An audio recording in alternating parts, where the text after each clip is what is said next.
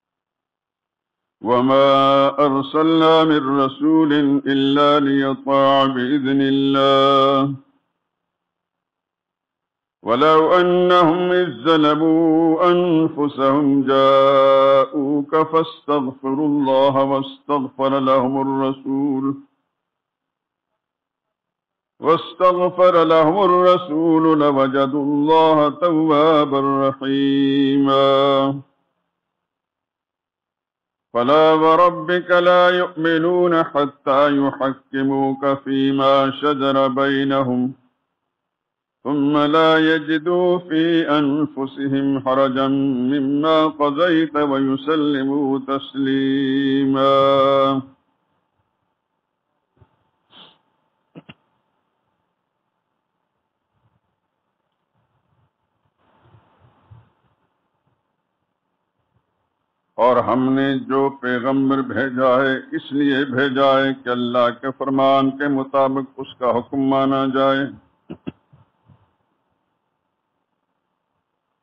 और ये लोग जब अपने हक में जुल्म कर बैठे थे, अगर तुम्हारे पास आते और अल्लाह से बख्शिश मांगते और रसूलुल्लाह भी उनके लिए बख्शिश तलब करते तो अल्लाह को मुआफ करने वाला मेहरबान पाते। तुम्हारे परवरदिगार की कसम, ये लोग जब तक अपने झगड़ों में तुम्हें मुनसिफ न बना लें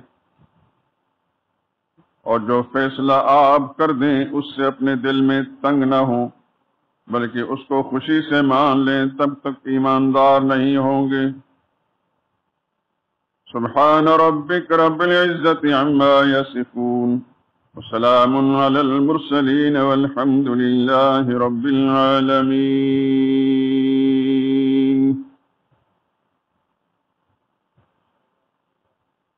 दरूद पाक पढ़ लें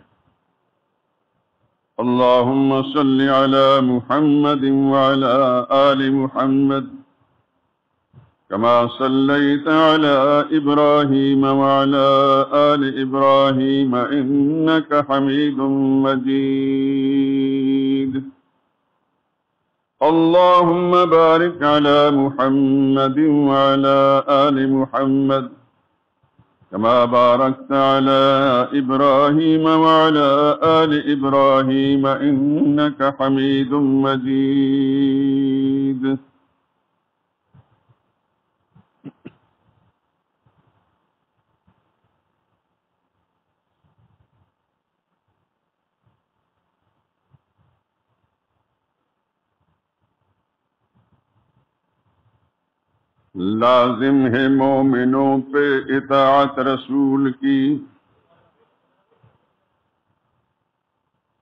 लाजिम है मोमिनों पे इतात रसूल की, दिल में हो जा गुजीन मोहब्बत रसूल की।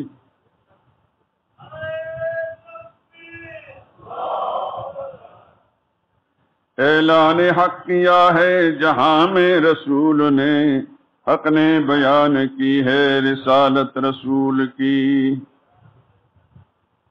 सबसे बड़े अमीन थे दुनिया में, आ हुजूर, मख्फी नहीं किसी पे अमानत रसूल की।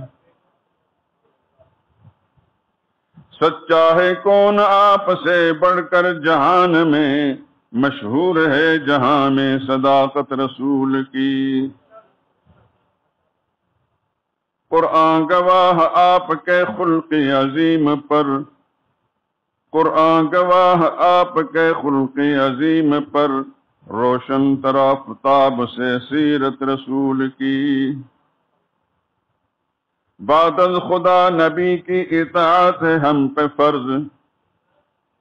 बादल खुदा नबी की इतात है हम पे फ़र्ज़। ईमान की है जान इतात रसूल की। मोमिन वो अपने आप को कहता है, किस तरह? रखता नहीं जो दिल में मोहब्बत रसूल की। सबसे बुलंद जैसे मोहम्मद की शान है, यूँ ही बुलंद शान है उम्मत रसूल की।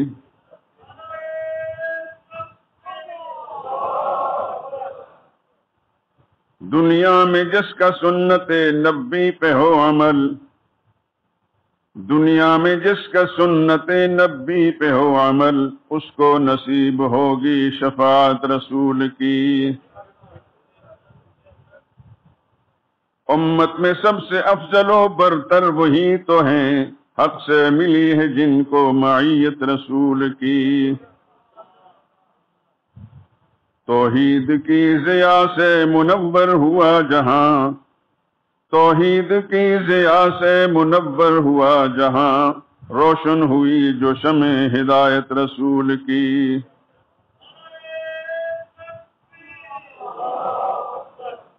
कुफरो निफाक शिरक की शब हो गई तमाम। फूटी जहाँ में सुबह नबवत रसूल की। दुनिया का जर्रा जर्रा खुशी से चमक उठा, जिस दिन हुई जहूर वलादत रसूल की। लाजिम है मोमिनों पर इतात रसूल की, दिल में हो जा गुजीन मोहब्बत रसूल की।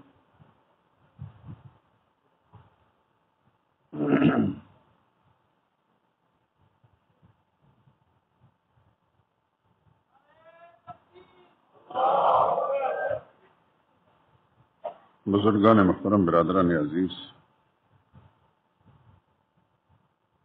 कुरान हकीम की चौथी सूरत सूरह निसा की आयत नंबर चौंसठ और पैंसठ जो मैंने तिलावत की है तर्जुमे में पेश किया है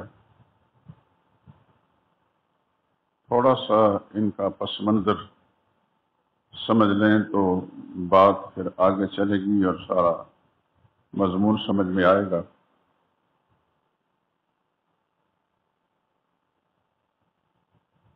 आप जानते हैं कि मक्की ज़िंदगी में सर्व आलम वसल्लम को दो ही तबक़ात से वास्ता था। एक तबका पक्के काफर मुशरकों का था, अबू जहल की पार्टी। हर कबीले के लोग इसमें शामिल थे। जितने कबाइल भी वहाँ आबाद थे इसकी तफसील में जाने की ज़रूरत नहीं और न ही आप उन कबाइल के सिलसिले में कोई मालूम रखने या रिसर्च करने के लिए मुकलफ हैं। तीन चार कबीले ज़्यादा मशहूर हैं जो अक्सर आप किताबों में पढ़ते हैं या से सुनते हैं। पहला कबीला मोहम्मद मुस्तफ़ा सलसम का अपना ख़ानदान, जो बनु हाशम कहलाते हैं। दूसरा कबीला, यानी सरदार टाइप का लोग, वो बनु मखजूम का था, जिसमें अबूजाल सर फहरिस्त था। तीसरा कबूला, बनु मैया का, जिसमें सैदना उस्मान भी हैं सैदना मुआविया भी हैं। इस कबीले के सरदार उस जमाने में सैदना अबू सुफियान थे रज़ी अल्लाह तला इस तरह एक कबीला बनु तैम का था, जिसके साथ सईदना वक्त सिद्दीक रज़ी अल्लाह तला का ताल्लुक है। एक कबीला बनु आदि का था, जिसके एक फ़र्ज़ सईदना फारूक आज़म रज़ी अल्लाह तला है। ये सिंपल मैं आपके सामने अर्ज़ कर रहा हूँ। तो जो लोग इन कबाइल में से निकलकर सरवर कायनात के दामन से वाबस्ते हुए मुसलमान कहलाए जो हुजूर के साथ वाबस्ता नहीं, वो सब काफिर थे। चाहे वो बनो हाशम में से थे, बनो मैया में से थे, बनो मखसूम में थे, बनो अती में थे, बनु कैम में से थे, ये सब के सब मुशरक थे।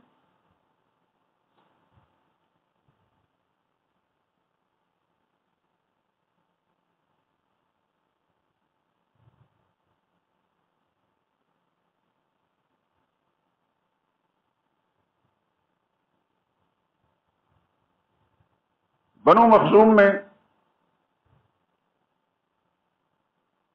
अबू जहल के एक बेटे थे, जिनका नाम सलमा था रज़ी अल्लाह तु वो शुरू के मुसलमानों में से हैं।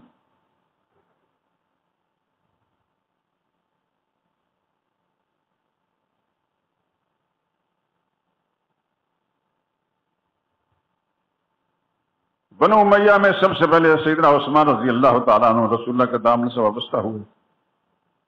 बनु हाशम में बड़ा आदमी तो कोई नहीं। एक बच्चा जो रसुल्ला के घर में ही पल रहा था सैदना अली रज़ी अल्लाह तु वो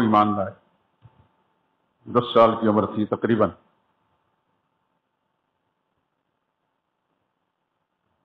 बनु आदि में सबसे पहले सैदना फारूक आज़म रज़ी अल्लाह के चचाजाद भाई थे। वो ईमान लाए और फारूक आज़म रजील्ला की हमशीरा। फारूक आज़म बाद में ईमान लाए।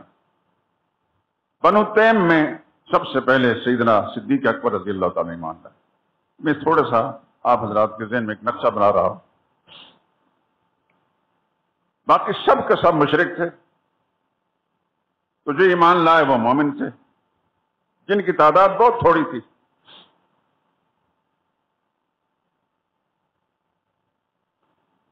जब अलैहि वसल्लम मदीना तयबा पहुँचे हैं, दरमियान में वाकया सबको छोड़ रहा हूँ मैं। बेशुमार बातें हैं। सिर्फ़ जिस तरफ़ मैं जाना चाहता हूँ, आपके जहन के अंदर वो एक तरतीब बना रहा हूँ। जब हजूर से मदीना तयबा पहुँचे हैं, मदनी ज़िंदगी इख्तियार की है, वहाँ पर रसूलुल्लाह वसल्लम को पक्के मोमिन कुछ मदीना, मक्का मुआजमों से गए थे, जो मुहाजर कहलाते थे। कुछ मदीना तयबा के मोमिन थे, जो अंसार कहलाते थे, उनसे वास्ता पड़ा। यहूदियों के तीन कबीले भी वहाँ आबाद थे। उनकी तफसील में जाने की इस वक्त ज़रूरत नहीं। वो पक्के मुशर, काफिर थे रसूल के मुखालिफ थे। एक तबका ऐसा था, जो बज़ाहिर हालात का मुकाबला न कर सकने की वजह से उन्होंने कलमा इस्लाम पढ़ लिया, ईमान का इजहार किया। लेकिन अंदर से मुसलमान नहीं थे। जो कुरान की जबान में मुनाफक कहलाए। कोई शख्स कलमा पढ़ता है, मुसलमान कहलाता है, दिल से कलमे के मकासद को पूरा नहीं करता, तस्लीम नहीं करता, वो मुनाफक है, वो आज का हो या चौदह सौ साल पहले का। इस बात को अच्छी तरह से नशीन फरमा लें अपने आप को भी मेरे समेत चटोलना चाहिए कि वाकता मैं जो कलमा पढ़ रहा हूँ, पूरी तफसील के साथ उसके जो तकाजे हैं उनको समझता हूँ और पूरा करने की कोशिश करता हूँ। मेरा इरादा है या नहीं? हर आदमी अपने आप को तनहाइयों में बैठकर सोचे, टटोले। तो फिर अपने ईमान का फैसला फौरी तौर पर इंसान कर लेता है, किसी दूसरे की ज़रूरत नहीं। इसी तरह आपके सामने, चाहे आपका कोई रिश्तेदार है या महल्लेदार वाकफदार कलमा पढ़ता है, लेकिन आप देखते हैं कि वो कलमे के मुख्तजा को न समझता है, ना पूरा करता है। चाहे उस पर कोई फतवा लगाए, ना लगाए, वो मुनाफिक है। किसी ऊँची सीट पर बैठा है तो मुनाफिक है। एक मजदूर है तो मुनाफिक है। मदनी ज़िंदगी में रसूल को जिन मुनाफिकीन से वास्ता पड़ा तो बड़े महदूद थे। बड़ी थोड़ी तादाद थी। लेकिन मक्की ज़िंदगी के अंदर मुनाफिक नहीं थे, बिल्कुल। या मोमिन थे या काफिर थे। मदनी ज़िंदगी में जहाँ रसूलुल्लाह को यहूदियों से, उनकी साजिशों से तकलीफें उठाना पड़ी उन्हीं के आलाकार मुनाफिकीन भी थे। लेकिन थे तादाद में थोड़े। और इस जमाने में उन्हीं सिफात से मुतसिफ लोगों को अगर हम देखते हैं, इतने ज़्यादा हैं कि उनको शुमार नहीं किया जा सकता।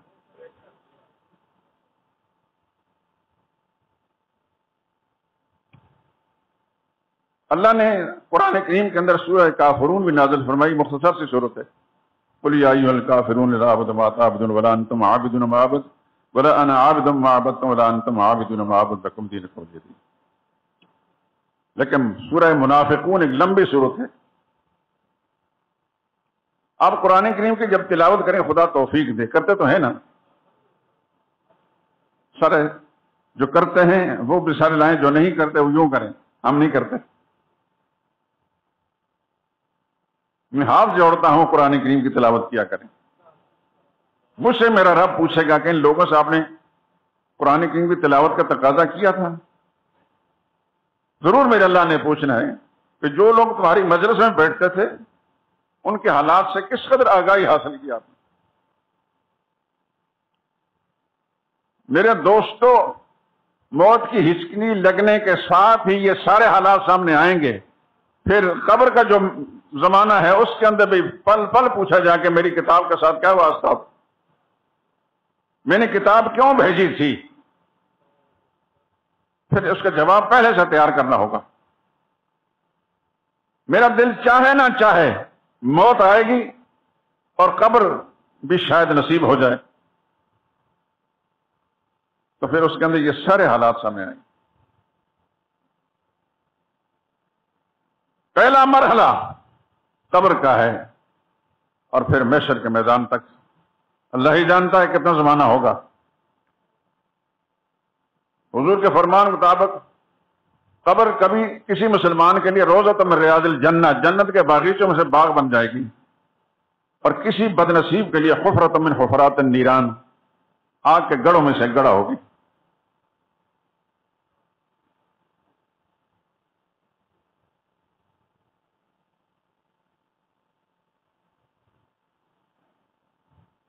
अपने बचपन की एक दो बातें मुझे याद हैं। हम इस वक्त जिस शहर में रहते हैं, जिला मानसर में शिनक्यारी नाम जगह है। ये वही रास्ता जो आप गलगेत और उससे आगे निकल चाइना पर जा सकते हैं। मोटरवे हमारे चिनकारी शहर के सामने से गुजर रही है। हम तालब इलम थे छोटे छोटे तालब इलम थे, चिनकारी शहर के साथ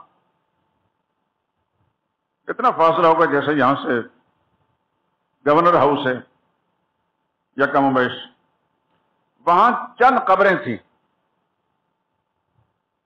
एक कब्र जो सीमेंट की बनी हुई थी, लेकिन ऊपर से बिल्कुल काली थी। यूँ लगता जैसे किसी कालक मली हुई ये बचपन की बातें हैं। हम तालब इलम थे। आना, जाना, गुजरना, पैदल। वहाँ यह बात मशहूर थी कि यह कब्र एक पटवारी की है। और मखसूस अयाम के अंदर रात के वक्त इस कब्र से शोले निकलते हैं।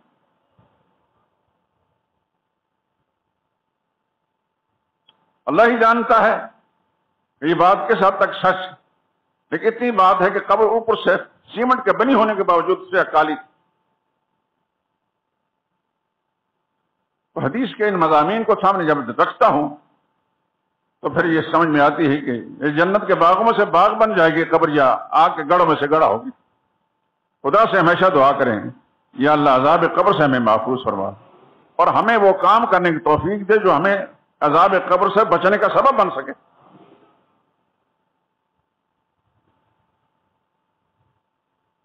या अल्लाह हमें हर तरह के गुनाहों से बचने की तो हमारी मदद फरमा और हर किस्म की नेकी की तोहफी कता फरमा। दुआया जुमला जो मैं अर्ज़ कर रहा हूँ, इस पर गौर फरमाए। या अल्लाह, हर वो अमल जो तेरे लिए नापसंदीदा है, उससे बचने पर हमारी मदद फरमा। हम खुद बच नहीं सकते तेरी मदद के बगैर। और जो अमल, जो नज़रिया, जो कैफियत तुझे पसंद है या अल्लाह उसको इख्तियार करने की तू तोहफी कता फरमा, तेरी तोहफी के पर हम कर नहीं सकते। अजाब कब्र से हमेशा, तमाम अहल्ला हर जमाने के अंदर अजाब कर से खुदा की पनाह मांगते रहे।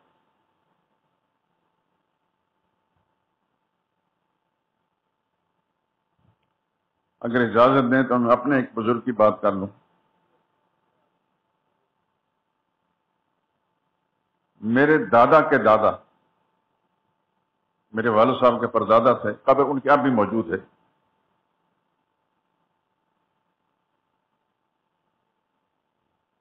पुराने लोगों से ये बात सुनी, जो अब दुनिया से चले गए। जिस कब्रिस्तान में उनकी कब्र थी, उनकी मौत के बाद तदफीन के कुछ साठ साल बाद उनकी कब्र बैठ गई। और बैठने का सबब यह बना कि कब्र के ऊपर एक पौधा, जिस तरह आप दियार समझते हैं, दियार। इसका हम शक्ल एक पौधा होता है, उसे लाकर उसको बिहार कहते हैं। उस तरह उसके पत्ते होते हैं, लेकिन लकड़ी उस मैार की नहीं। वो पैदा, वो पौधा उस, उनकी कब्र पर उग गया, किसी ने परवाह नहीं की। तो आके तनावर दरख्त बन गया। और उसके वज़न से उनकी कब्र के तख्त टूट गए। उन बुज़ुर्गों का नाम अब्दुल करीम था, हाफिज अब्दुल करीम। जब कब्र टूटी, चूँकि इलाके के जितने लोग भी थे, उनको उनके साथ अकीदत थी उनकी बुजुर्गी के कायल थे। तो इलाके का जो बड़ा आदमी था, मोतबर आदमी था, उसने कई बस्तियों को इकट्ठा करने के बाद कहा कि ये बाबा जी की कब्र टूटी है, इसको बनाना चाहिए। लेकिन उनका बेटा, जो बहुत बड़ा आलिम था, यहाँ से शिफ्ट होकर मकबूजा कश्मीर में चला गया। मौलाना अब्दुल हमीद, मेरे परदादा। बहुत बड़े आलिम थे अपने जमाने के। बड़े आरिफ बिल्ला इंसान थे। उनकी कलमी तहरीरें मेरे पास मौजूद हैं, आप देखेंगे तो हैरान रहेंगे। उनसे मशवरा किया, उस इलाके के बड़े आदमी ने, बाबा जी, यानी आपके वालिद की कब्र टूटी है, हमारा दिल चाहता है कि उसको, इसकी तजदीद की जाए। लेकिन उसका तरीका यही है कि उसको खोला जाए, वो टूटे हुए तख्त अलग किए जाएँ और फिर तख्ते रखे जाएँ। चुनाचे मशवरा उनसे किया, वो चूँकि बहुत बड़े बुज़ुर्ग थे, आलिम थे, उनको ये पता था कि मेरा बाप कैसा इंसान गुजरा है। इलाका की बड़ी दुनिया इकट्ठी हो गई। कब्र को खोला गया। और उनके जो असल बेटे थे, मौला अब्दुल हमीद, उन्होंने सारी मट्टी हटाई। तो देखा कि उनका कफन सही सालम है। अलबत् जहाँ से कब्र टूटी थी, बारिश बरसात का पानी जब नीचे जाता रहा तो मट्टी से मिलकर कफन को आलूदा कर दिया था। चुनाच उनके मैयत को बाहर निकाला गया। बाहर निकाल के जब कफन खोला गया तो अलाना का माकाना सही सलामत थी। अलबत् एक बुज़ुर्ग बूढ़ा आदमी जो उस वक्त बूढ़ा हो चुका था, लेकिन उनकी वफात के वक्त वो नौमर था। कहने का एक तब्दीली आई है। जिस वक्त बाबा जी को दफन किया था, उस वक्त इनकी मूछें कटी हुई थी और अब इनकी मूछें बड़ी हुई हैं। बस, इतनी सी तब्दीली। एक हदीस में आता है, मन कान अल्लाह कान अल्लाह लहू जो अल्लाह का हो जाता है, खुदा उसके हो जाते हैं। इसमें कोई शक और शुभ की बात नहीं। वो अल्लाह वाले थे। दुआ करें कि अल्लाह, आप समेत, मुझ समेत, मेरी नस्ल समेत, अल्लाह हमें उनके नक्श कदम चलने की तोफीक दे। वो हर वक्त कुरान करीम पढ़ते रहते थे। एक मखसूस मकाम जो आप नहीं समझेंगे, मैं समझता मुझे पता है। वहाँ से चलते थे, कुरान करीम शुरू करते थे और दूसरे मकाम पर पहुंचकर कुरान करीम खत्म करते थे। अल्लाह अकबर। वो भी हाफज थे, उनके वालद भी हाफज थे, उनके बेटे भी हाफज थे। आरिफ बिल्ला तो थे ही, लेकिन साथ हाफिज भी थे। ये दो नमूने मैंने आपके सामने ज़िक्र कर दिए। कि जब खुदा की मर्ज़ी के मुताबिक इंसान ज़िंदगी गुजारता है तो फिर उसके साथ खुदा ये ये मामला करते हैं और जो खुदा की नाफरमानी करते हैं। अल्लाह ही जानता है कि पटवारी साहब ने कितने घपले किए होंगे, किसकी ज़मीन किसके नाम लगाई। उस जमाने में सादगी का दौर था पढ़े लिखे लोग नहीं होते थे। बासर लोग, आपके पंजाब के अंदर जिस बड़े बड़े लैंडलॉर्ड चौधरी हैं, हमारे इलाके में खवानी थे, खान साहब। उन अंग्रेज़ के जमाने में बासर लोग थे। और अंग्रेज़ों के साथ बड़ा उनका ताल्लुक था, जिसकी चाहे ज़मीन अपने नाम लगा दी। पटवारी जो है इसमें किरदार अदा करते थे। खुदा बंद खलूस से दुआ कर अल्लाह पाक, अपनी रहमत के साथ हर उस अमल से हमें बचाए जो उसकी नाराज़गी का सबब बनता है। और हर वो काम करने की तोहफी का अता फरमाए, जो उसकी रजा का सबब बनता है। अर्ज़ करने का मकसद है कि मदीना तयबा में रसूल को पहुंचकर एक तीसरे तबके के साथ वास्ता पड़ा, वो था मुनाफिकीन का। अब बात को जल्दी खत्म करना चाहता हूँ। एक यहूदी का उस नाम निहाद मुसलमान से झगड़ा हो गया।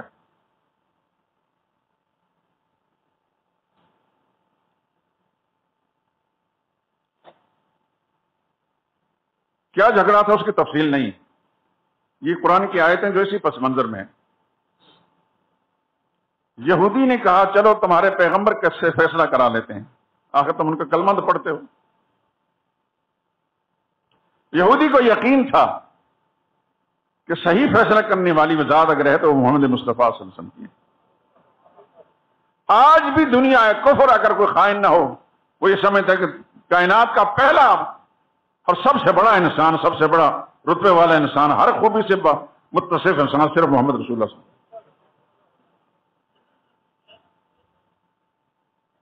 मुसलमान को अच्छा समझे, ना समझे। इस्लाम को भी अच्छा समझता है, पैगंबर इस्लाम को भी अच्छा समझते हैं। मुसलमान अगर सही इस्लाम पर होता तो दुनिया में मुसलमान इस तरह की जिल्लत और खारी की ज़िंदगी नहीं जो आज का मुसलमान गुजार रहा है। यहूदी कहता है, तुम्हारे पैगंबर से फैसला कराते हैं। और वो मुसलमान कहलाता नहीं। काब इबन अशरफ यहूदियों का जो बड़ा लीडर था, बड़ा पादरी था, उससे फैसला कराते हैं।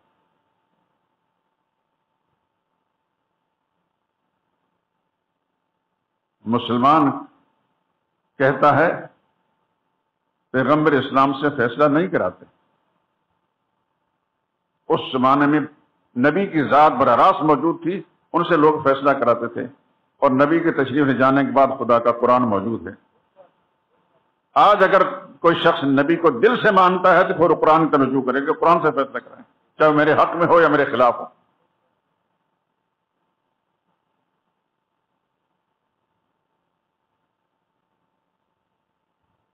चारों ना चारों यहूदी ने उसको मलामत किया, उस नाम निहाद मुसलमान को। तुम अजीब किस्म कलमा पढ़ते हो उस नबी का और उससे फैसला नहीं कराना चाहते। वो गया, उस यहूदी के साथ हजूर वसल्लम को दोनों ने अपनी, अपने बयान दिए। रसूल्ला ने समझा कि ये यहूदी का मौकफ दुरुस्त है, इस नाम ने हाथ कलमंगो का मौकफ दुरुस्त नहीं। हजूर ने यहूदी के हक में फैसला दे दिया।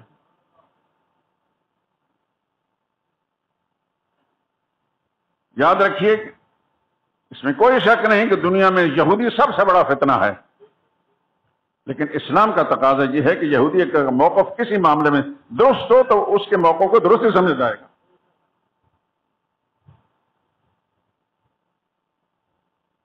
यहूदी को पता था कि मेरा मौकफ ठीक है, चुनाच उसको फैसला उसी के हक में आ गया। मुनाफक का मौकफ दुरुस्त नहीं था, इसलिए हुजूर के सामने जाने से कतराता था। जब हजूर सल्लल्लाहु मुनाफिक का, यहूदी के हक में फैसला दे दिया तो उसने दिल से नहीं माना। उस मुसलमान कहलाने वाले ने दिल से नहीं माना। ऐसे लोग इस जमाने में हैं कि नहीं?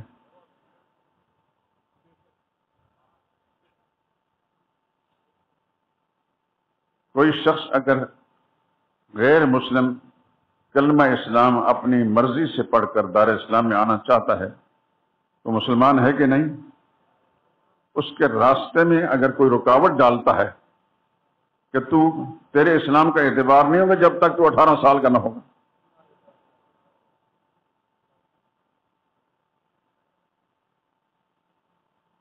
जो शख्स रुकावट डालता है, यानी उसके कलमे को नहीं मानता मोतबर, कि नहीं इसके इस्लाम को मोतबर नहीं जब तक ये अठारह साल का ना हो जाए, शरीयत में ऐसा कोई कानून है, कुरान में या रसुल्ला के फरमान में अठारह साल की उम्र से पहले कलमा नहीं पढ़ सकता? सईदन अली रज़ी अल्लाह तु जो दस साल की उम्र में थे, हजूर पर ईमान लाए, कलमा पढ़ा कि नहीं पढ़ा? उनका कलमा मोतबर है या नहीं? रसूल्ला की सारी शहजादियाँ अपनी वालदा मोहतरमा सईदा खदीजा रज़ी अल्लाह तहा के साथ मुसलमान हुई। उनका कलमा मोतबर है या नहीं? आज इन जोहला, नस्ली, असली जोहला को ये बकवास करने के किसने हक दिया? इन पर खुदा के करोड़ हाल लानते हों।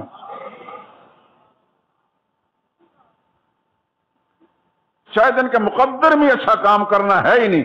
हर काम गलत ही होगा, हर काम गलत ही होगा। वो मुनाफक मुनाफक कल का हो या आज का मुनाफक मुनाफक ही होता है। उसने कहा, चलो, उमर से फैसला कराते हैं। रसूल्ला का फैसला सुनने के बाद उसको हक में हक में फैसला जब ना महसूस हुआ तो कहने लगा, उमर से फैसला कराते हैं। सैदा फारूक आज़म रज़ी अल्लाह मदीना तयबा में उस वक्त हजूर के हुक्म से रसूल्ला के फरमान के मुताबिक कोई झगड़े वाले लोग आते, फैसला फरमाते थे। मुनाफा के दिल में ये चोरी थी, उमर को यहूदियों से सख्त नफरत होती है। तो जब मैं कहूँगा, ये यहूदी है मेरा मध्य मुकाबल तो फ़ौरन मेरे हक में फैसला दे देंगे। उस बदबक को ही नहीं पता था कि सहाबा इकराम की मोहब्बत भी अल्लाह के लिए है और बुक्स भी अल्लाह के लिए है। और याद रखें मेरे दोस्तों, ये कानून मेरे और आपके लिए भी है। अल्लाह के लिए मोहब्बत रखनी है, अपनी जात के लिए नहीं। ये मेरा रिश्तेदार है, ये मेरा दोस्त है, मेरे यार है मलेदार है। चाहे उसका मौका कितना गलत क्यों ना हो? ना, अल्लाह के लिए मोहब्बत रखनी है। क्या उसका मौका खुदा के कानून के मुताबिक दोस्त है तो मोहब्बत रखें। नहीं तो नहीं वो रखनी। हजूर ने फरमा मन अहब अल्लाह है वाब गजल्ला है जो किसी से मोहब्बत रखता है, सिर्फ़ अल्लाह के लिए। जिससे बोझ रखता है, सिर्फ़ अल्लाह के लिए। वह है और किसी को कुछ देता है तो वो भी अल्लाह के लिए। और किसी से रोकता है तो तब भी अल्लाह की रजा हासिल करने के लिए फ़कत तकमल ईमान, उसने अपने ईमान को मुकम्मल कर लिया। आज भी ये कानून है हम सब के लिए, दोस्तों। तल्लकात, रिश्तेदारी, दोस्ती जारी अपनी जगह। लेकिन जहाँ खुदा उसके रसूल का हुक्म आ जाएगा, वहाँ फिर उसको बालादस्ती देनी पड़ेगी। अगर अपना ईमान बचाना है मुसलमान की ज़िंदगी जीना है और मुसलमान की मौत मरने का इरादा तो फिर इस तरह करना होगा। उस मुनाफिक ने यह कहा कि उमर से फैसला कराते हैं। यहूदी ने कहा, तुम्हें शर्म आनी चाहिए। तब पैगंबर ने फैसला किया और फिर कहते हैं, उमर से फैसला कराएँ। कहने चलो चलते हैं। जाते ही उस मुनाफक ने हज़रत उमर से कह दिया कि ये यहूदी और मैं मुसलमान। यहूदी बड़ा होशियार तो उसने कहा, एक बात सुन लें। आपके पास आने से पहले आपके नबी के पास हम गए थे। वहाँ सारा दोनों तरफ़ के बयान सुनने के बाद तुम्हारे नबी ने मेरे हक में फैसला दिया, लेकिन ये आपका मुसलमान भाई नहीं मानता। सीधना फारूक आज़म रजील्ला तला ने उससे भी पूछा, वाकतन आप हजूर के पास गए थे? उसने कहा हाँ जी, गए थे। हजूर ने फैसला किसके हक में दिया क्या नहीं? इसके हक में दिया था, यहूदी के हक में, लेकिन मेरा दिल चाहता कि मैं आपसे फैसला कराऊं। अच्छा। चलो ठीक है, तुम बैठो यहाँ। मैं आता हूँ अभी। सईदना फारूक आज़म रज़ी अल्लाह अल्लाह अकबर। अपने घर गए, अपनी तलवार लाई और आकर उस मुनाफा की गर्दन को अड़ा दिया। और फरमाने लगे, जो खुदा के नबी का फैसला नहीं मानता, उमर फैसला फिर इस अंदाज से करता है।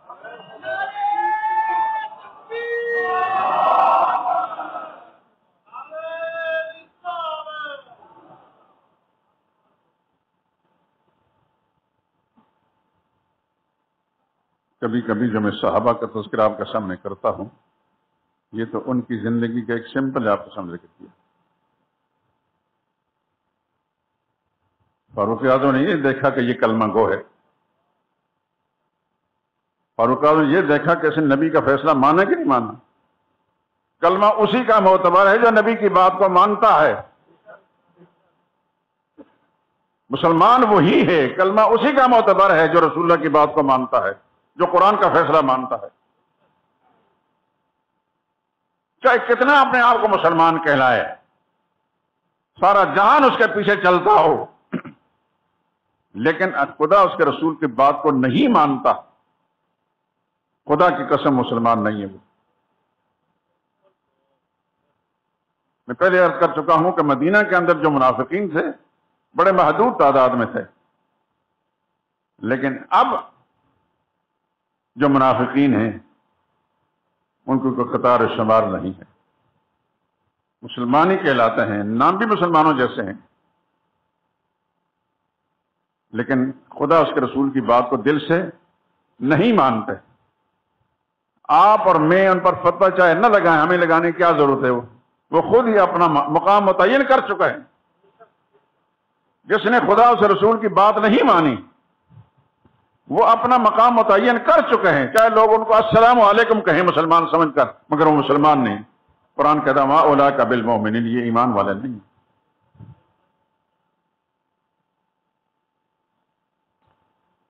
उस मुनाफक के जितने रिश्तेदार थे, उन्होंने बड़ा शोर मचाया। फारूक आज़म पर कत्ल का केस जारी कर दिया रसूल्ला की खिदमत में पहुँचे और फ़ौरन पैंतरा बदला। कहने लगे, जी, ये आपका फैसला न मानने की वजह से सने बल्कि फारूक आज़म के पास गए थे, को इनमें कोई हद करा दें। तो खुदा का कुरान नाजल हुआ।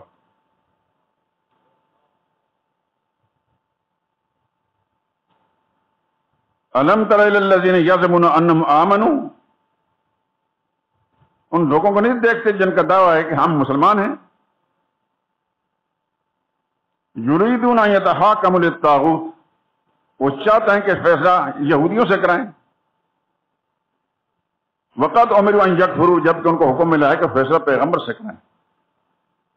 तुम्हारे कलमे का तकाजा ये है कि जिन जो खुदा उसके रसूल के कानून को मानो।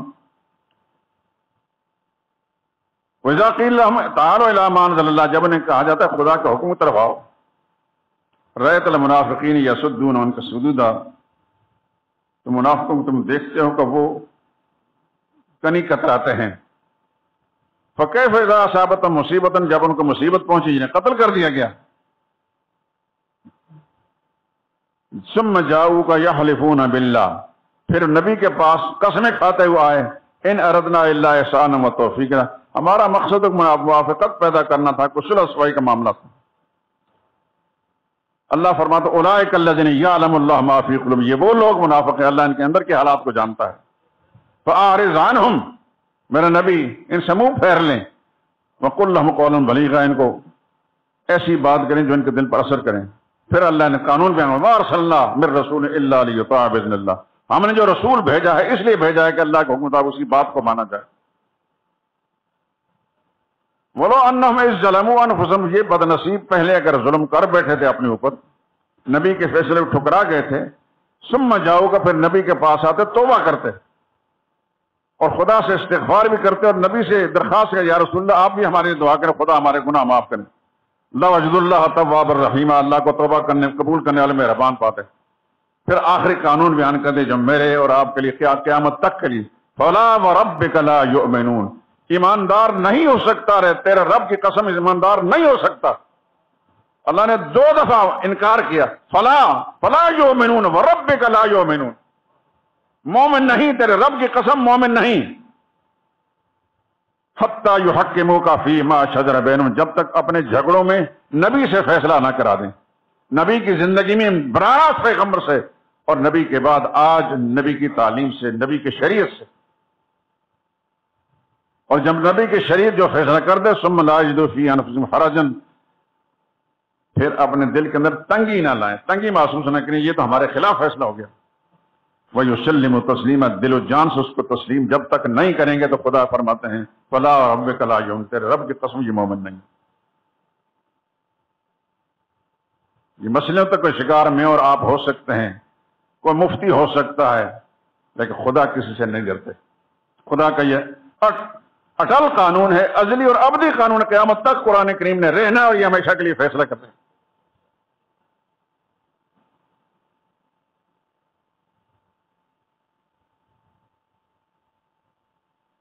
मेरे दोस्तों तो हम मुसलमान कहलाते हैं, हमें ज़िंदगी में बेशुमार हालात अपनी तबीयत के खिलाफ भी सामने आते हैं।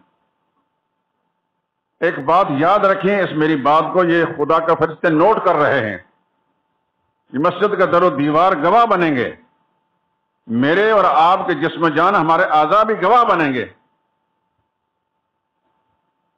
कोई झगड़ा, कोई मामला भी हो शरीर के मुताबिक फैसला करें। बजाहिर आपको अगर माली नुकसान भी होता है, लेकिन आपने दिलो जान से शरीर के फैसलों को मान लिया, खुदा दूसरी तरफ़ से, दूसरे मौके पर आपके नुकसान की तलाफी फरमा देंगे। लेकिन चंद हज़ार रुपए के लिए या चंद लाख के लिए आपने शरीर के फैसले को ठुकरा दिया। रब काजा कसम, न वो चंद लाख आपको मुफीद साबित हो गए, दुनिया आखरत की जिल्लत और खारी के मुकदर बन जाएगी।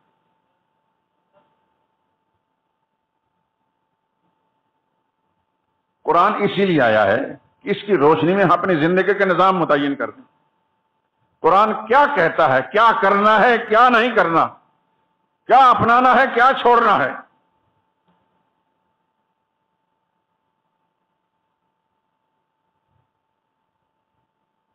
हमारा इस जमाने के लोगों का यह हाल है, जो खुदा का दुश्मन है, उसके साथ हम दोस्ती रखते हैं। और जो खुदा के दोस्त हैं, उनसे बुग्ज रखते हैं।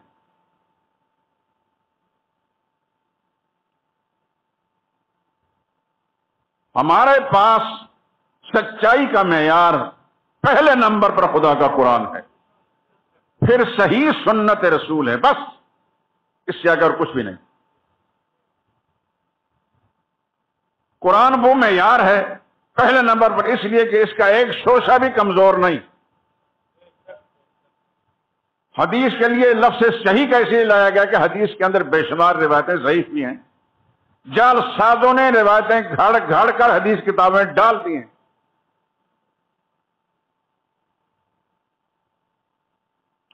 एक बात आपको बताता हूँ, आप हैरान रहेंगे। तालब इलम हूँ अब तालब इलम का काम क्या है? अपनी जहालत को दूर करने के लिए किताब के साथ वाबस्ता रखते हैं। चलो मेरे अंदर जो इलमी कमज़ोरी है, वो किताब के साथ ताल्लुक रखने की वजह से कम होती जाएगी। अल्हम्दुलिल्लाह अजीम अब भी दावा नहीं मुझे कि मैं मारूफ मानों के अंदर आलिम हूँ, मौलवी हूँ, एक तालब इलम हूँ।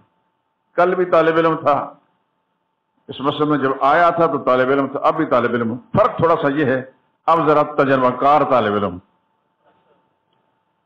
उस जमाने में मैं सोचता हूँ, और अब जो कुछ अल्लाह ताला की रहमत मेरे साथ शामिल हाल हुई है, बड़ा ज़मीन आसमान का फ़र्क।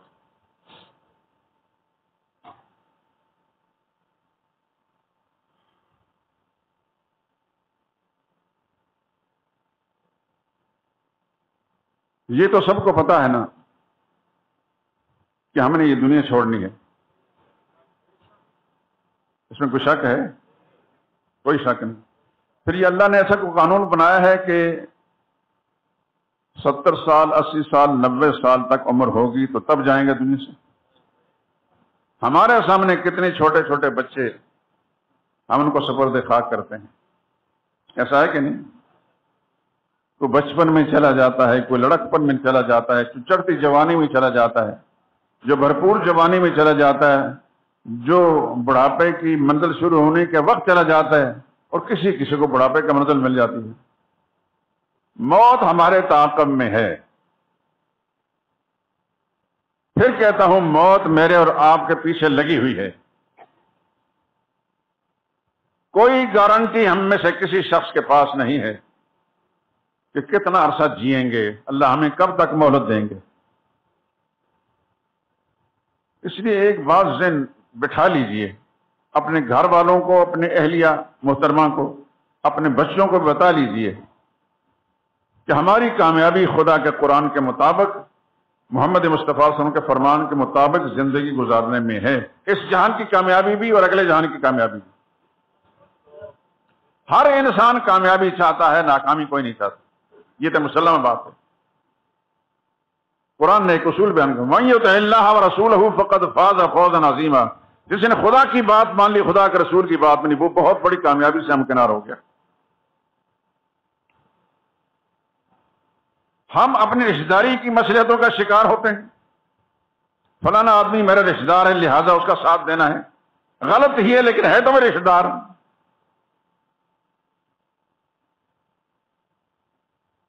भाइयों की मोहब्बत का शिकार हो जाते हैं, चाहे वो गलत है। अपने मफादात को बचाने के लिए, झूठ बोलने, गलत मौक़ इख्तियार करने पर तुल जाते हैं। और यह ख्याल नहीं होता कि ये जिस मफाद को हम बचाना चाहते हैं, ये हमें नसीब भी होगा कि नहीं।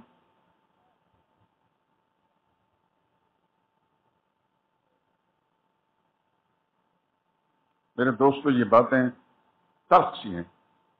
लेकिन हमारा दिल नहीं करता कि हम ऐसी बातें हमारे कानों से टकराएँ। ज़ुबान से अदा करना तो दरकिनार हमारा सुनने को भी दिल नहीं करता। लेकिन कुछ चीज़ें सच होती हैं। सच कड़वा होता है। न चाहे दिल, तब भी उसका सामना करना पड़ता है।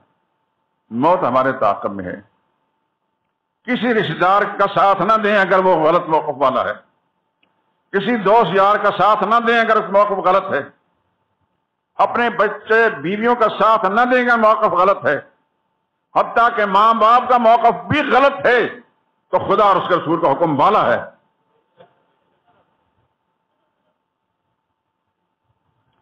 हमारे पास कुरान करीम जो आया है इसमें, क्या हज़रत इब्राहिम अलैहिस्सलाम का वाक़ा नहीं बयान किया? क्यों बयान किया? इब्राहिम अलैहिस्सलाम खुदा के पैगंबर थे बचपन से ही अल्लाह ने उनको बदवे शऊर से ही सही रास्ते पर रखा। जब होश की आँख खोली, देखा बाप मुशरक है, बुत परस्त है, बुत बनाता भी है, बुत बेचता भी है, बुत पूछता भी है। इब्राहिम अलैहिस्सलाम ने बाप को मुखातब फरमाया, इन्नी अरा का व कौमा कफी जलाल मुबीन। अब्बा जान मैं आपको भी आपकी सारी कौम को खुली गलती में देख रहा हूँ। सुरह मरियम में इस अंदाज से खिताब है। लेमा ताबद माला, यसमा वला वला युगनी का शेयर अब्बा जान, क्यों पूछते उनको? माँ, उनको ला यसमाओ आप अगर उनको कुछ बात सुनाना चाहें तो सुन नहीं सकते। वला युबसर, आपके हालात को देख नहीं सकते।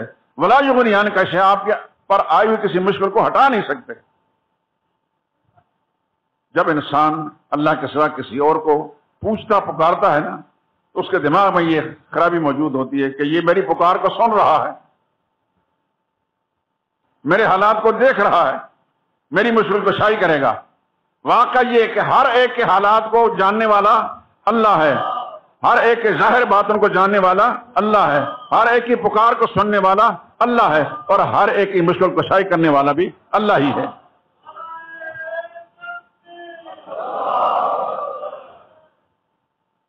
तो इब्राहिम खलील्लाह ने फरमा ले माता ताबदो? क्यों पूछते हो?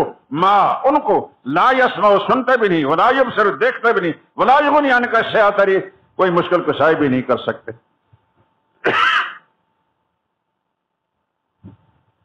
बाप ने क्या किया? कहने लगा कि लम तंत है मेरे बेटे इब्राहिम, अगर तू ऐसी बातों से बाज ना आया अर्ज़ मन्नक तुम्हें संसार करूँगा मैं। पत्थरों से पिटाई करूँगा।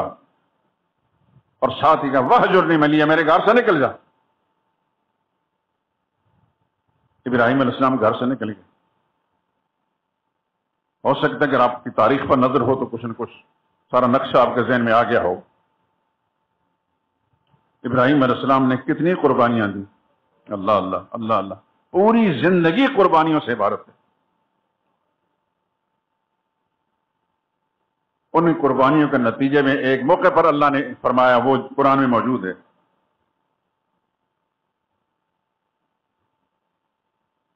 इन्नी जायलो का से इमामा। मेरे पैगंबर इब्राहिम, आपने इतनी कुर्बानियाँ दी हैं मेरे हुक्म पर।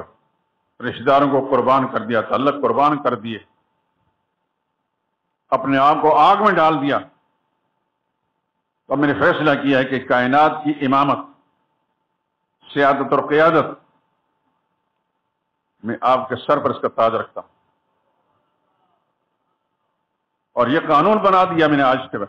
आज के बाद जो नबी भी बनकर आएगा, वो आपकी जरूरियत, आपकी औलाद में से होगा, आपकी औलाद से बाहर नहीं होगा। चुनाच मोहम्मद मुस्तफ़ा हूँ। या हज़रत ईसा हूँ, या उनसे पहले ये सारे के सारे जरूरियत इब्राहिम में से अलहमसलात वसलाम और कुरान करीम की तिलावत के दौरान आपने नोट किया होगा फतब मिल्लत इब्राहिम हनीफा। अल्लाह ने मोहम्मद मुस्तफ़ा को भी फरमाया, मेरे नबी फत फतब आप चलें मिल्लत इब्राहिम इब्राहिम का तरीके पर। वो इब्राहिम हनीफा जो सबसे मुँह मोड़कर, सबको छोड़कर सिर्फ़ अल्लाह की तरफ़ होने वाले थे।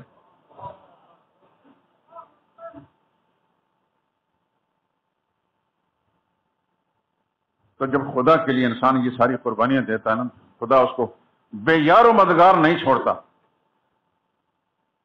वो हदीस फिर जहन में रखें, मन कान अल्लाह कान अल्लाह लहू जो अल्लाह का हो जाता है, फिर अल्लाह उसके हो जाते हैं।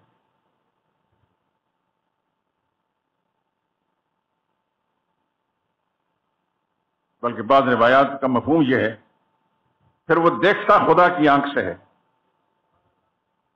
वो सुनता खुदा के कान से है वो छूता खुदा के हाथ से है चलता खुदा के पैर से। मतलब यह कि अल्लाह ताला उसके आज़ाद जवारत को अपनी मर्ज़ी के मुताबिक बना देते हैं। उसकी का, उसके कान गलत बात सुनने के लिए तैयार नहीं उसकी आँख गलत चीज़ को देखने के लिए तैयार नहीं। उसके हाथ गलत चीज़ को छूने के लिए तैयार नहीं।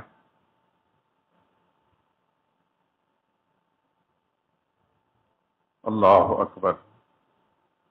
ये जितनी बातें मैं कर रहा मेरे दोस्तों, वक्त का दामन तंग होता है, वरना मैं एक एक मिसाल साहबा इकराम के बयान करूँ। इसके नमूने मौजूद थे मोहम्मद मुस्तफ़ा के साथी, जिनके बारे में आप जानते हैं कि वो जिनके बाप दादा मुसलमान नहीं थे, जो खानदानी काफर थे। खानदानी काफर जब उन्होंने कलमा पढ़ा, ज़ुबान से पढ़ा तो फिर उनके खून के अंदर शामिल हो गया। उसका असर उनके खून में शामिल हुआ। फिर वो देखते भी खुदा की मर्ज़ी के मुताबिक, बोलते भी खुदा की मर्ज़ी के मुताबिक, चलते भी खुदा की मर्ज़ी के मुताबिक। आज दुनिया में कितनी मसले हैं? कुछ है उनका कोई हिसाब किताब? कितनी मस्जिदें हैं जिनमें सहाबा के तस्कर नहीं होंगे यहाँ में और आप उनका तस्का सुन सुना रहे हैं तो दूसरी मस्जिदों में नहीं होंगे? दुनिया में करोड़ हा मस्जिदें हैं। फिर खुदा ने उनको ज़िंदा और जावेद रखा। जहाँ खुदा की बात होती है, मोहम्मद मुस्तफ़ा की बात होती है, नबी के दोस्तों यारों की बात होती है। ये दुनिया मिट जाएगी, नहीं होंगे, सहाबा होंगे। उनके नाम ज़िंदा और जावेद होंगे। हर दौर के अंदर उन्होंने नाम ली इसलिए कि वो अल्लाह के हो गए थे। उन्होंने माँ बाप छोड़े खुदा के लिए, रिश्तेदार छोड़े खुदा के लिए, अपनी जायदादें छोड़ी खुदा के लिए। मक्का के जो मुहाजिर मुसलमान थे, अपने घर बार छोड़े कि नहीं छोड़े? अपनी इमलाक छोड़ी कि नहीं छोड़ी? सब कुछ छोड़ दिया। इसलिए मदीना तयबा में लुटे पिटे जब गए तो मदीना वालों की किस्मत पे कुर्बान जाए। फिर उन्होंने अपने साथ उनको भाई बनाकर शरीक कर लिया, अपने कारोबार में शरीक कर लिया, अपने घर दे दिए। हत्या के किसी मुसलमान का निकाह नहीं था। मदीना तयबा के मुसलमानों के दो बीवियाँ थे, उन्होंने कहा, ये मेरी दो बीवियाँ, जिसको चाहे मैं आप इसको फारक करता हूँ, आपके निकाह में देता हूँ। ऐसी मिसाल दुनिया में कुछ सोच सकता है। वसाबिकून अव्वलून मिनल मुहाजरीन वल अंसार सुभान अल्लाह पहले पहले ईमान लाने वाले मुहाजिर हों या अनुसार हों। जब तक कुरान दुनिया मौजूद रहेगा, इनके तस्करे भी रहेंगे। मैं आप मुहाजर अनुसार तो नहीं बनते, लेकिन उनकी मोहब्बत दिल में रखकर, उनके नक्शे पर, कदम पर चलने की कोशिश तो कर सकते हैं। इस पर तो खुदा ने पाबंदियाँ नहीं लगाई? उनकी मोहब्बत दिल में रखकर, ज़ाहिर उनकी मोहब्बत अल्लाह रसूल के लिए होगी। पहले खुदा की मोहब्बत है, फिर मोहम्मद मुस्तफ़ा की मोहब्बत है, फिर इनकी मोहब्बत है। तो फिर इंशाला हमारे साथ मेरा रब मामला उसी तरह करे जो उनके साथ किया। उसकी ज़ात अली से यह उम्मीद रखी जा सकती है कि हम अगर पूरी शौरी ज़िंदगी में जो खुदा का हुक्म आ गया, गर्दन झुका ली, नबी का फरमान आ गया, गर्दन झुका ली साहबा का तरीका आया तो हमने अपना लिया तो फिर अल्लाह का मामला भी फिर हमारे साथ वही होगा जो साहबा कराम के साथ किया।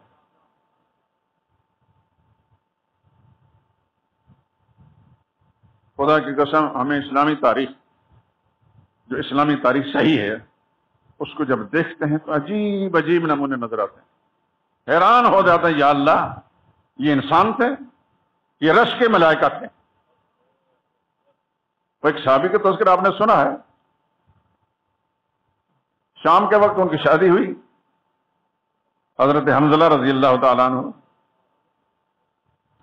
रात गुजरी थी कि सुबह सवेरे पैगाम रसान पैगाम जो रसूल्ला ने फरमाया, निकलो जिहाद के लिए। तो उस साबी को एक रात अपनी अहलिया के साथ गुजारी थी, गुसल करने का मौका नहीं मिला। गुसल करने करने लगूँगा तो हुजूर के फरमान को पूरा करने में ताखिर हो जाएगी। हालाँकि नीयत में फ़र्क नहीं होता।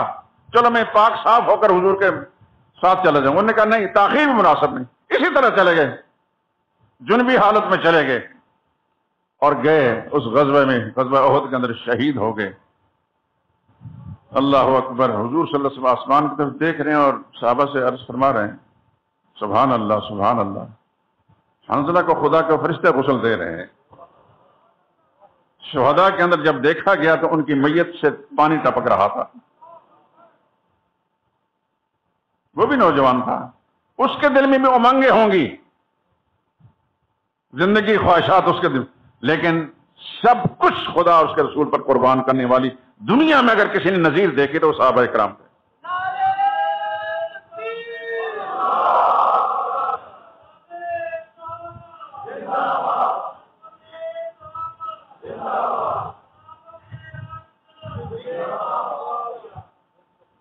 एक दुआ अर्ज़ करके बात खत्म करता हूँ। हमेशा दुआ करते हैं करते हैं कि नहीं करते? नहीं करते। क्या हम मुस्तगनी है दुआ करने की ज़रूरत नहीं हमें हम तो सरापा गदा हैं, फकीर हैं खुदा के दरवाजे के। हम तो मोहताज हैं, खुदा मुख्तार है। हम मोहताज हैं, मोहताज का काम भीख मांगने के सिवा और क्या है? जब खुदा से दुआ मांगे तो उसमें ये बात भी शामिल कर लिया कि या अल्लाह हमें अपने महबूबों की मोहब्बत अता फरमा। ये तू जानता है कि तेरे महबूब कौन कौन से हैं? अल्लाह, उनकी सच्ची मोहब्बत हमारे दिलों में डालकर, या अल्लाह, उनके नक्श कदम पर चलने की तोहफी अता फरमा। हमारा हर कदम, या अल्लाह तो अपनी मर्ज़ी के मुताबिक बना दे। और वाकत ऐसा ही होता है। फिर ऐसा इंसान गलत कदम डालता है, खुदा उस कदम को सीधा कर देते हैं। मैंने ये मजमून जो शुरू किया है, ये असल में तमहीद है, आगे आ रही है रसूल रसम की वलादत का माह मुबारक। आ रहा है ना? कौन सा महीना? माशा जाकल्ला तो एक चीज़ हमारे पंजाब में काफ़ी अरसे से मैं जब यहाँ पंजाब में आया हूँ, खासतौर पर यहाँ पहले तो तालब इलम का जमाना था पता ही नहीं था। यहाँ मस्जिद शहदा में आया तो मुझे पता चला यहाँ के हमारे मुसलमान भाई एक खास किस्म की रस्म मनाते हैं, आखिरी चार शंबा। और यानी रबीउल का आखिरी बुध, नहीं, सफ़र का आखिरी बुध उसमें लोग जोक दर जोक बागों में शहरगाहों में जाते हैं। बुध के रोज। क्या है जी आखिरी चार शंबा मनाया जा रहा? क्या है कि हजूर वसल्लम को सेहत हुई? किसने इनके कान में फूंक मार दी? कुछ नहीं पता। खुदा के पैगंबर ने बार बार जो काम करने का हुक्म दिया, वो याद नहीं। किसी चीज़ से छोड़ने का हुक्म दिया, वो याद नहीं। अल्लाह जाने ये रस्म कहाँ से चली है। तो मैंने एक पंफलेट लिखा था आबद रात पहले याद आखिरी चार शंबा की शरी हैसियत। ये दलाइल के साथ मैंने लिखा है। तारीखी किताबों के दलाइल के साथ, कि ये बात इसका मुझे जल्दी ना किया करें। आपको जल्दी क्या होती? ये पंफलेट आपको नमाज़ के बाद मिलेगा, आखिरी चार शंबा की शरी हैसियत। इसको खुद भी ध्यान से पढ़ें। जहाँ कहीं आपको कोई आदमी भटका हुआ नज़र आता है तो उसकी भी सलाह करें। और इसको अपने घर के इस्लामी लिटरेचर के अंदर, बाज़ार ये बड़ी किताब नहीं, लेकिन बहुत सारी किताबों का नचोड़ है। बड़ी किताब लिखकर फिर फ्री तकसीम करना मुश्किल होता और ये अल्लाह की तौफीक से बाद साथियों के तावन से खुदा उनको जजाय खैर अता फरमाए, उनको बरकतें अता फरमाए। ये हज़ारों की तादाद के अंदर, पूरे पंजाब के अंदर, पंजाब से बाहर भी दूसरे मुल्कों को चला गया? और लोगों को भला फ़ायदा मिल गया। आप हजरात नमाज़ के बाद ये ले लें।